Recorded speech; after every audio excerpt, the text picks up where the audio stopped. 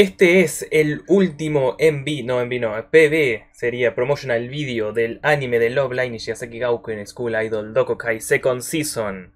Está a la vuelta de la esquina y es una locura. ¡Uh! De hecho, me perdí, no sabía que exactamente salía en abril y bueno, pasaron muchas cosas.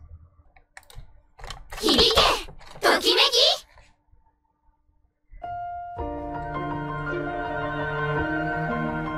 てしない。空の向こう。未来へと.橋を架けよ.う。行こう。¿Qué 明日へ見つけた！会いたかったわ！えー、留学生？スクールアイドルになるために香港から？私もあの.ステージに立ってみたいって思った。だからここに来たの。ようこそ。虹ヶ崎学園スクールアイドル同好会へ。音楽家も忙しいんだよね。本当に両立できてるの？大丈夫だって。もう一度聞くわユウ。あなたはどうして同好会にいるの？すごいなみんな。私も頑張らないと。スクールアイドルフェスティバルは好きっていう気持ちさえあれば誰でも参加できるようなお祭りにしたいんだ。みんなの夢を叶える場所私もお手伝いしてみたいです。ぜひお願いします。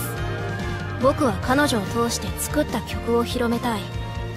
私は誰よりもみんなを夢中にさせるスクールアイドルになりたい。夢は違っても私はいつだって力になるからね。うまくできなくてもいい。私にしかできないことを。ラブライブ 虹ヶ崎学園スクールアイドル同好会 ¿Va a decir algo más? No, no va a decir nada más. Ya tengo ganas de ver cómo se rompe toda la amistad y vuelven a unirse con el poder del amor. Aunque sí no sabemos exactamente cómo lo van a manejar este tema de las nuevas chicas.